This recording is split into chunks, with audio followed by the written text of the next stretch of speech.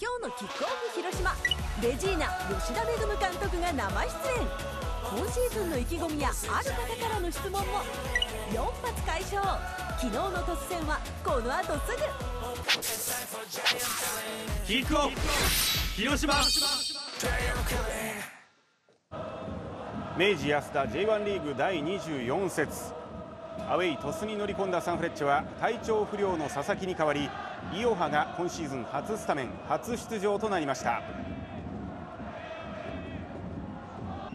前半21分ゴールキックのロングボールをビエイラがスラスと抜け出したマルコス・ジュニオル。もうあのドグラス・ビエラ選手がもう競り勝つと信じて相手の、ね、裏に走っていましたし、まあ、あとねこのシュートはね本当に落ち着いて見事に決めていましたね、はい、ゴールキックからの先制ゴールでした。1点リードで迎えた後半のファーストプレー。トスのマルセロ・ヒアンに強引な突破から同点ゴールを許すと。9分にもヒアンの突破から危ないシーンを迎えますが大迫のビッグセーブ勝ち越しは許しません。ピンチを耐えしのぎ迎えた26分。新井のパスを受けた松本大志が相手を1人かわし、左足線いや素晴らしいシュート。逆足を豪快に振り抜き勝ち越しゴールを奪うと。42分。新井のスルーパスに抜け出した加藤が中を見てクロスを送ると東がスルーし大橋。この右サイドの加藤選手のクロスに対して左のウイングバックのね、はい、東選手がまずニアで潰れましたし、うん、まあ、そこにねいち早く反応したのは大橋選手。相手のディフェンダーはね止まっていましたけど大橋選手だけ反応しました。はいさすがストライカーでした。とどめはアディショナルタイムクリアボールを収めた三田が左足で決め4点目。決め切るね。はい。サンフレッチェ10戦負けなしと相性のいい鳥栖に快勝です。8年目でやっとヘンリーと同期入団で同じピッチに初めて立てたのでそれで僕の勝ち越しゴールで勝てたっていうのはすごい良かったかなと思います。負けられない試合が続くので、はい、いい準備して勝ち続けられればなと思います。こんばんは。キックオフ広島です。今日は30分の拡大スペシャルでお送りをしていきます。さあ小さんサンフレッチは快勝でしたね、い、や中断前のこの連勝は大きいです、うん、大きいですね、うん今日はゲストにお越しいただいております。今シーズンからサンフレッチェ広島レジーナの新監督に就任されました吉田恵さんです。よろしくお願いします。お願いいたします。さあ監督に就任をされていきなりの生出演ということになりましたが、いかがですか、むちゃくちゃ緊張してます。本当ですか、はい、30分ですからね。思いっきり楽しんでわかりました。いただきたいと思います。まあ、あの小井さんは、吉田監督と一緒にね、プレーをされていますけれども、あこれ就任新加入会見ですね。2004年の映像流れてますがどんな印象ですか？若いですよね。いやもう本当にあのこう真面目というか、はい。まあ、プレーヤーとしては本当に堅実に、うん、まあ、プレーされていた選手だったかなと思いますし、はい、まあ、本当普段こう黙々とやる姿っていうか練習する姿をまあ見てましたね。はい、うん。さあということで吉田新監督が指揮を執る新生レジーナ先週チームが始動しました。先週火曜日レジーナは新シーズン開幕に向け吉田新体制が始動しました。練習の前には見学に来たサポーターに挨拶。今シーズンも応援よろしくお願いします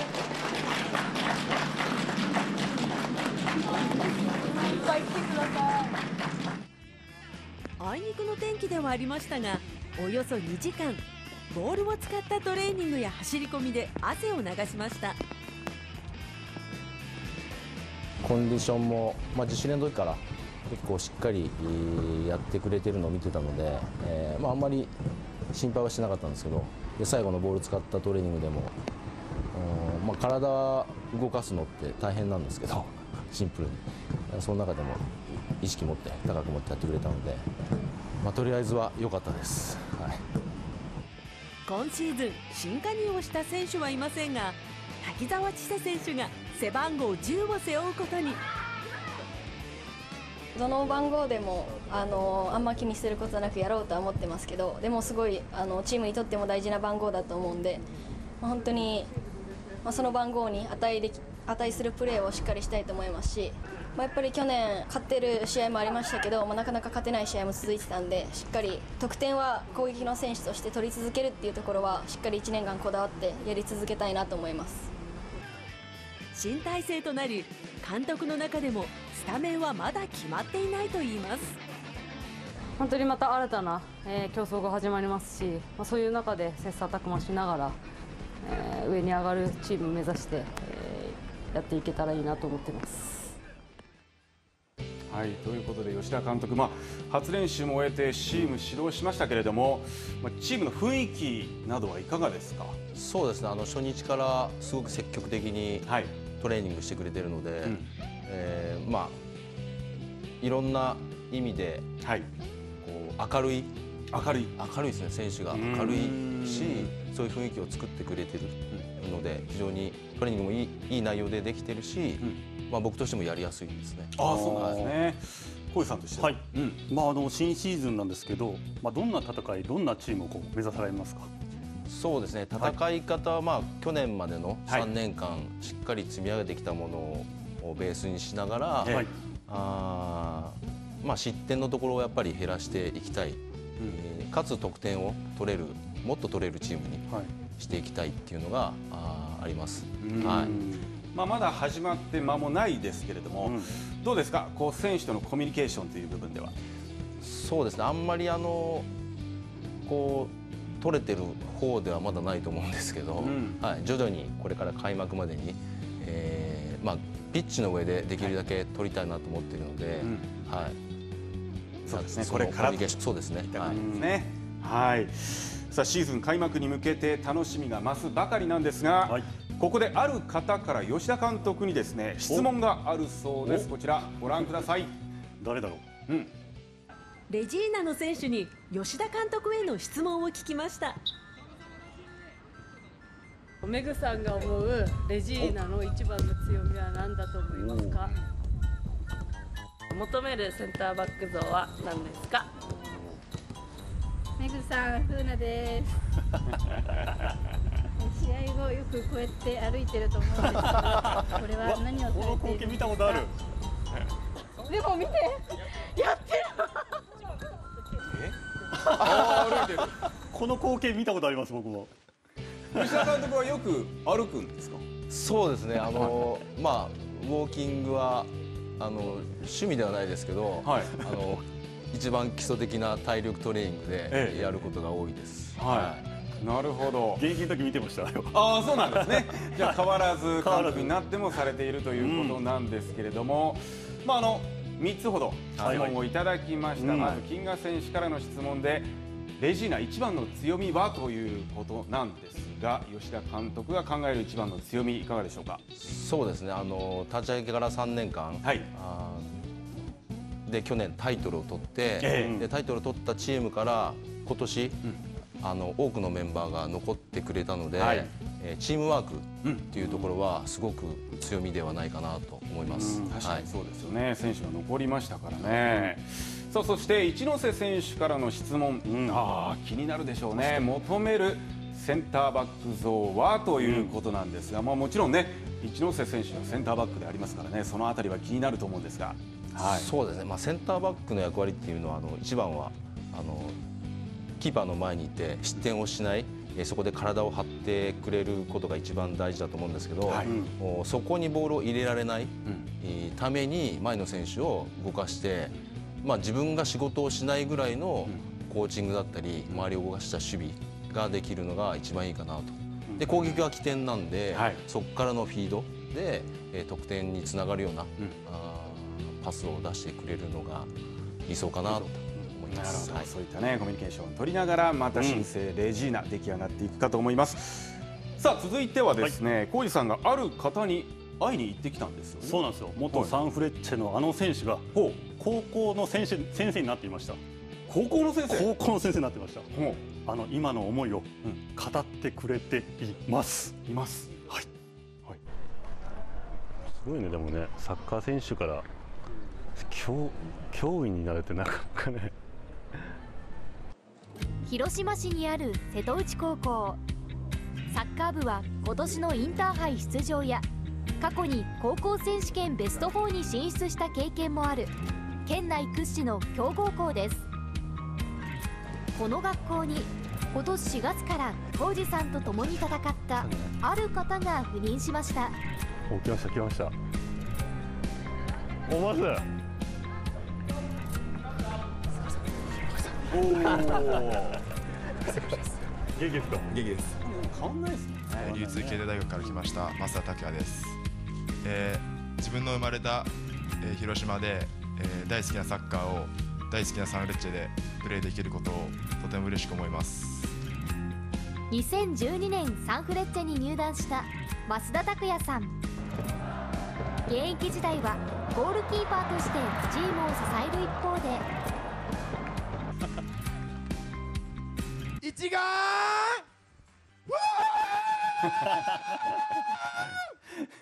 ムードメーカーとしてもファンから愛されました。プロの世界からなぜ高校教師の道へ進んだのか。そこには増田さんのある思いがありました。今年4月から瀬戸内高校の教師としてサッカー部の指導も行う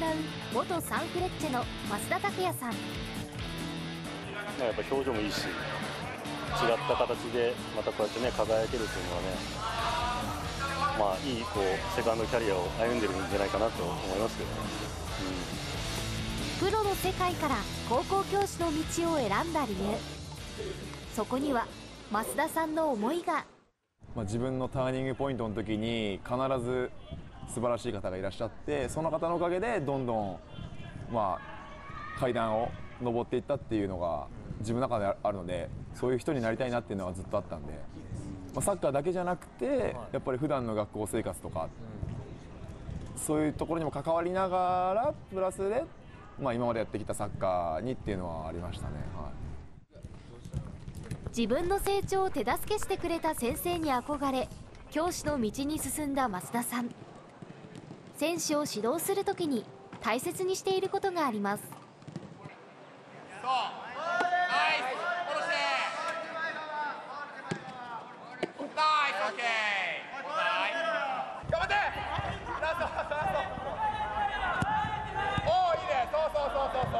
できるだけプラスの声をやっぱり自分が選手だった時もこれがダメあれがダメって言われるよりかはここがいいから伸ばした方がいいよとかここをもうちょいこうしたらもっと良くなるよっていう言い方をされた方がバンってこう成長するきっかけにもなると思うのでどういうふうに伝えれば成長できるかなというかプレイヤーとして、はい、ちょっと気を使いながら言葉遣いは、はい、考えてます。このこういうプレーあのいいよとかそのこういうプレこういうプレーなくそうっていうそのなんだろうあのあのいい悪いっていうのそのメリハリがちゃんとできてできてるんでそこは選手としてしやすいです。プロサッカー選手から教師へ。新たな一歩を踏み出した増田さん。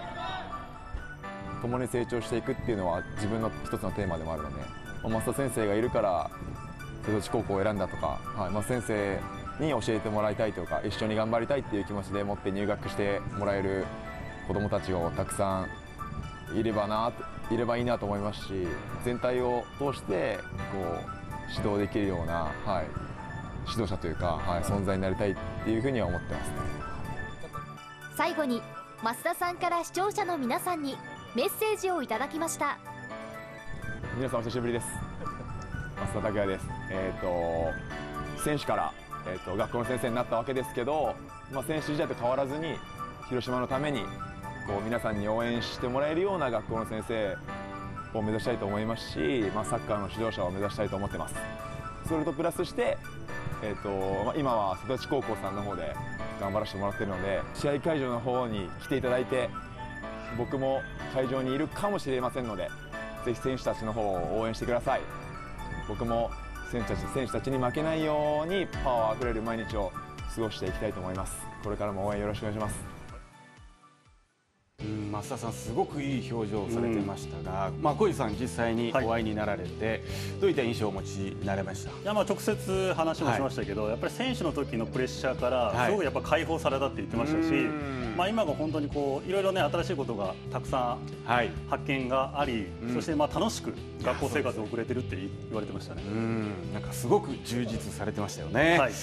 さあ増田さんも指導する瀬戸内さ、えー、高校サッカー部なんですがインターハイに出場します。1回戦は27日佐賀県の龍谷高校と対戦です。さあ続いては広島のアマチュアサッカーを紹介する広島シュートです。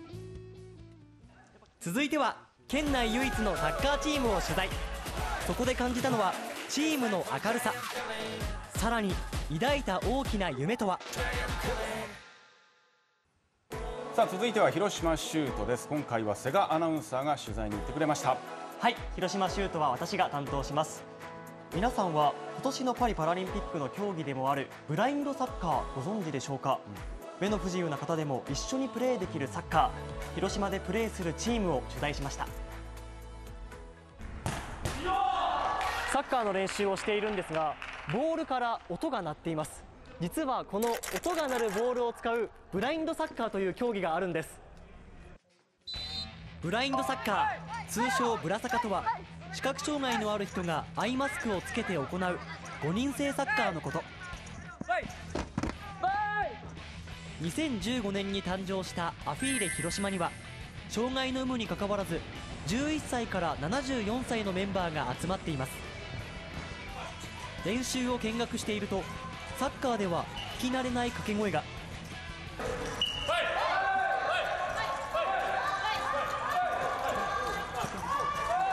選手たちがしきりに発する「ボイ」という掛け声。実は。衝突させるために自分はここにいますよということを他の選手に知らせるために声を出しながらやっているっていう。お互いが見えないからこそ声を出し危険な衝突を防ぐための掛け声なんです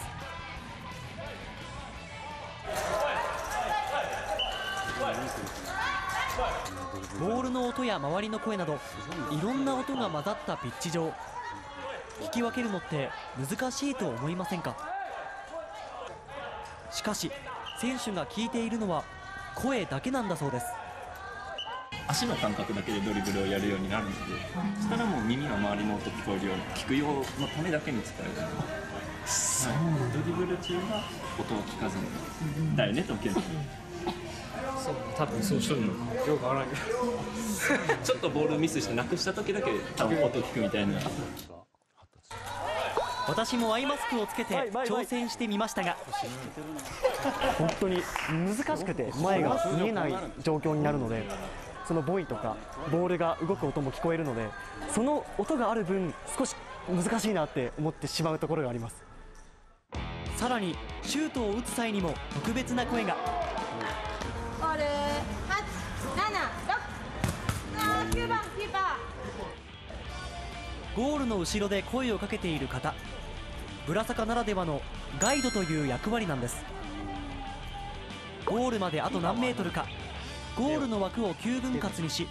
どこにシュートが飛んだのかを伝えることが主な役割なんです。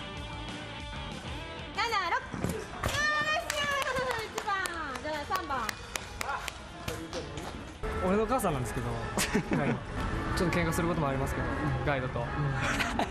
あのでも本当にいないと普通に。自分できないゴールの位置もから全部シュート外すと思うんで、人によって声の出し方変えたりもするしね、うん、選手によって。そうそうそう。好きな出し方とかしてくれたりもする。勉強熱心に、うん、そうそう。めっちゃいい。できるだけ短い言葉で今の状況をあの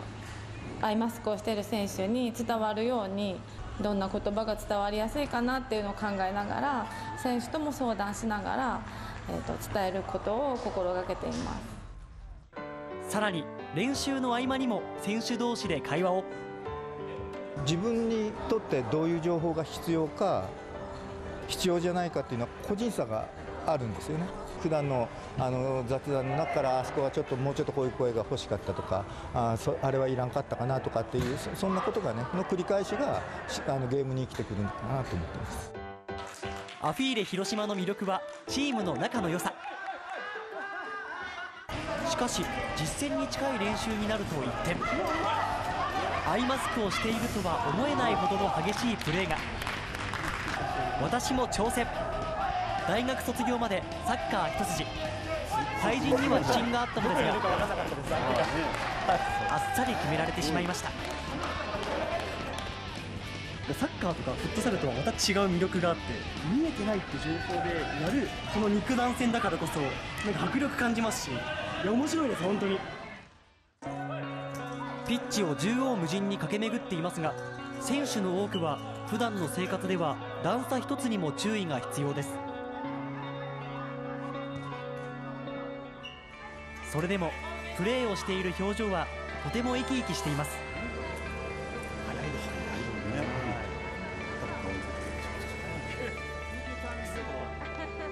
自由に動けるっていうところが一番いつも見ていて感動します。たくさんの方に支えてもらいながらピッチで輝く選手たち。大きな目標も持っています。僕は2028年のロサンゼルスのパラリンピックで代表で、えっと、招集してもらうことを目指していて、えっとまあ、そこに向けて今からもいろんな、まあ、いろいろ課題があってディフェンスとかにも課題があったりするんでそこを直してロスで試合出てハットトリック決めれるように頑張りたいなと思ってます。スポーツを通してどんどんあの視覚障害者のことも知ってもらいたいですし視覚あの障害があるからないからっていうところに垣根を乗り越えていろんなことにチャレンジできるんだよっていうことを伝えていけたらいいかなと思って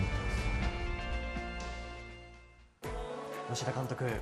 本当に VTR 見ていても選手が生き生きプレーしている姿っていうのが印象的でしたがご覧になっていかがでしたかいや本当にあの見えてるかのようなプレーをしてるんで、うん、びっくりしました、本当にガイドの声っていうのもよりあるからこそ選手たちがプレーできるっていう声が聞こえてきてですねそういう支えっていうのもあるんだなっていうのを強く感じました。そんな今回取材させていただいたアフィーレ広島なんですが実は広島出身の後藤選手がパラリンピックの日本代表に選ばれているんです。はい、後藤選手は30歳を過ぎてから視覚障害になりブラインドサッカーを始めて今では代表選手にまで上り詰めました。しかし代表活動は東京が主な活動拠点でですね、はい、なかなかご家族が試合に来ることができないそうなんです。そこでチームはクラウドファンディングを実施しています、うん、後藤選手の活躍をパリでご家族が見られるようにご協力をお願いいたします、はい、詳しくはチームのインスタグラムをご確認ください。